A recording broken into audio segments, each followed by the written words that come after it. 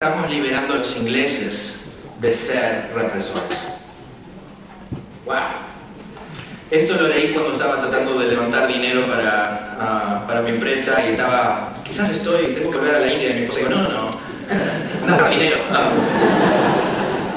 Ok, él lo logró, lo liberó no solamente la India, terminó el imperio británico.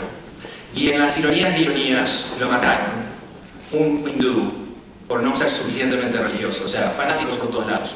Uh, Esta señora es un héroe para mí. Es ah, la persona que me formó. Es la persona que en mis peores momentos me llevó hacia adelante. Es la persona que todavía hoy en día me inspira. Y es una de esas héroes que viven hoy en día. Es un héroe que todavía sigue inspirándome. Y la perdono por ponerme ese... Sí, la perdoné. Por supuesto. Cuando vi estas fotos el otro día, ¿qué está ahí arriba? O sea, es, es arquitectónico, no sé. Bueno, esta es mi mamá, Marta.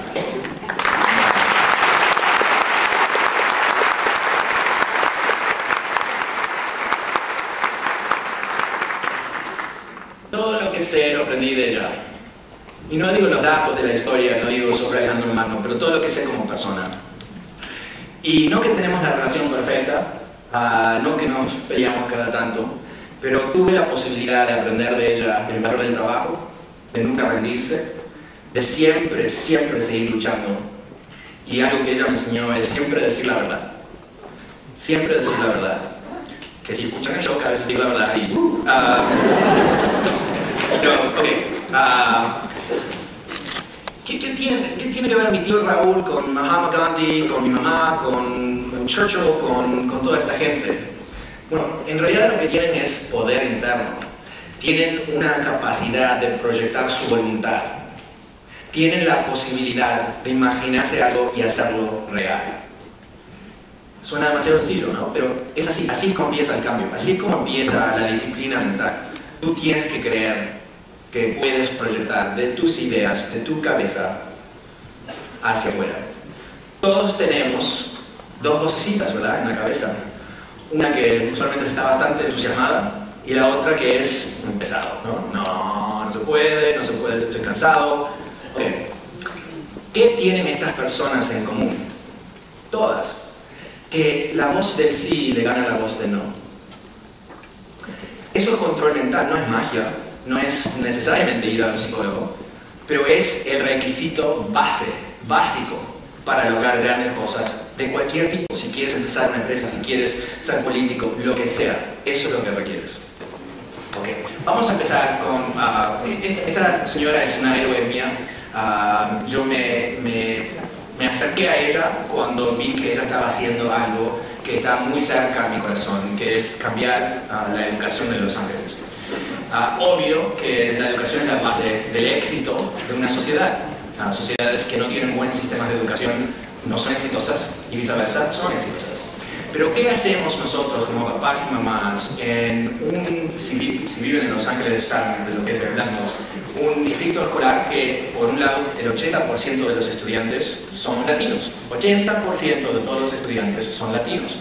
Al mismo tiempo, en forma totalmente objetiva, menos del 50% de los estudiantes en Los Ángeles se gradúan. Y de los que se gradúan, solamente el 11% llegan a una universidad en cuatro años.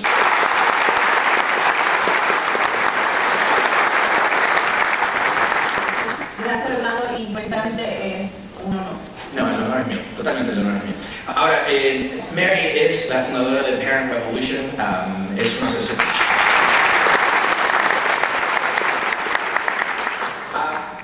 increíble lo que ha logrado California en, en, poco tiempo relativo al nivel de la crisis, pero no vamos a hablar sobre Parent Revolution, no vamos a hablar sobre lo que se logró más allá que te puedo decir el fin de la historia. En enero de este año, el gobernador Schwarzenegger firmó una ley revolucionaria que le da poder a los padres. Y me gustaría decirte que los políticos se reunieron y les, les salió de la frente esta gran idea. No. Uh, le salió a ella la idea Y no solamente tuvo la idea, pero también tuvo la fuerza, ah, la energía y la valentía, porque ha sido brutal ah, lo que ella ha vivido, para lograr. Sí, vamos a hablar un poquito también. Ok, Mary, ¿dónde naciste? Soy nacida aquí en Los Ángeles, California. Nací en, ah, ¿puedo? en el este de Nací de criada porque sigo ahí. ¿Y, y tú fuiste a las escuelas públicas en su momento? Exactamente. am, mis papás, igual, ah, mucho sacrificio. Empe- empezamos en una escuela privada, católica, ah, pero ya no pudieron porque cosas empezaron a cambiar am, muy caro. So- son siete de familia. Mi mamá, igual, cosía, era operadora de costura, mi papá en la construcción. Y, y, pues los medios no estaban ahí para tantos. Y me gradué, logré graduarme Ah. de panzazo. Ah. De la cosa. Ajá. Ok. Entonces tú, tú conoces la dinámica, has sido parte del sistema, después tienes un hijo. ¿Y qué, qué pasa con tu hijo? ¿Cuál es la experiencia del hijo en las escuelas? Pues mi hijo al principio fue um, deemed gifted, sobredotado en elemental. Tormenta. ¿Cuál fue la tormenta? Pues la tormenta fue de que, como te digo, el amigo del hijo no entró. Mi hijo siguió. El segundo año, mi hijo logró llegar al club del 3.0. Solo logró subir. Pero el amigo, el primer año, él sí se fue a Roosevelt, no preparado para competir, y dejó la escuela. Dejó la escuela. El segundo año perdimos al amigo. ¿Qué, quiere decir perdimos? Lo mataron. Lo mataron am, ahí mismo, atrás del edificio donde él estaba justamente. Entonces, pues de allí nosotros seguimos, y, y esto se ve, se ve en todas nuestras comunidades. En nuestras comunidades, porque ahorita el pandillerismo, las drogas es algo muy fuerte, muy triste. Eh, está consumiendo a muchos de nuestra juventud. Pero bueno, yo seguí, mi hijo, dos años después de esto, se graduó de la high school con tres cartas de sentencia a tres universidades. Irma Reséndez de Familia Unida.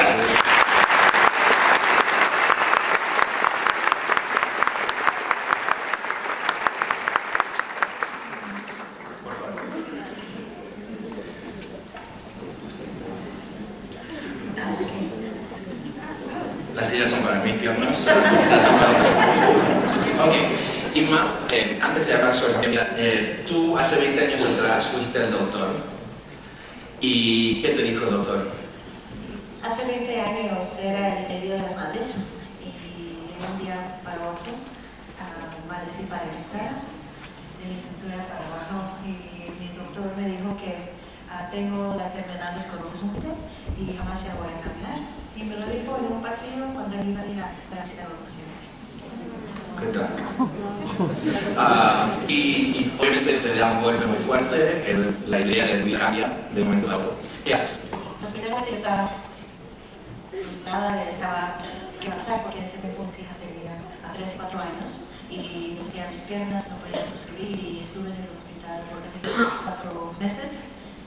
Entonces, realmente yo, sabía que la persona que me veía cruzar calle de mí ah, estaba por esa condición y me estaba recordando cuando su hija ah, se casó, estaba llorando en su vestido con trabajo diario, con esfuerzo, sin perder la objetividad de la meta, sobre todas las cosas que yo creo que el día de hoy se está hablando contigo y te lo agradezco a título personal y a nombre de muchas personas. Nunca, jamás darnos por vencidos. Oh, Muy bien.